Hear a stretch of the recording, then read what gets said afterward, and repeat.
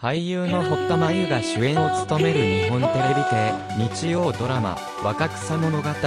恋する姉妹と恋せぬ私毎週日曜あと10時30分の第1話が今日6日に放送されるそれに先立ってあらすじと場面写真が公開された。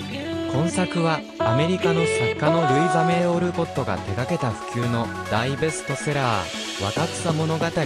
原案となる。もしあの4姉妹が令和日本に生きていたらという着想から舞台を大胆に現代に置き換えて描かれる社会派シスターフッドコメディ堀田次女三村沙和長女畑めぐみ四女長浜ねる三女が4姉妹として共演する。